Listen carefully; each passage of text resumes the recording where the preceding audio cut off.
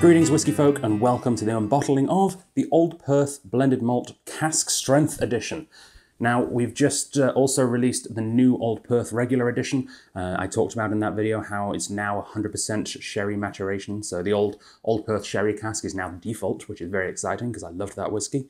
And there's one thing I loved more than the sherry cask was the cask strength sherry cask, and that is exactly what we have here. Um, yeah, exciting whiskey. Uh, we've we've had a lot of old Perths here throughout the last couple of years at the Strath. Of course, we had the Victoria Whisky Festival bespoke Old Perth. They made a blend specifically for us here in Victoria, which was super cool. Still some in stock right now.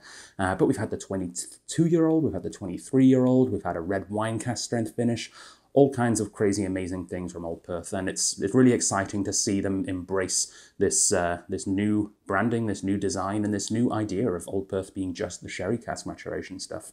Super cool. Let's see what the cask strength is like. See if it stands up to my old favourite, the uh, the old version of the sherry cask cask strength Old Perth. Very nice. Love a good pop. Let's see if it's got a good glug. Absolutely it does. All right. Big, dark, rich flavour as you'd expect from both sherry casks and also the more concentrated uh, whiskey form of it being cask strength. Oh, yeah. Much deeper, much darker in its more concentrated form. I'm getting sort of morello cherries, dark chocolate, that kind of thing.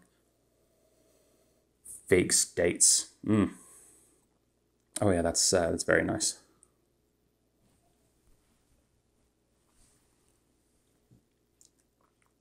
Hmm. A 58.6, I think this batch is. That's a, it's got a good heft to it.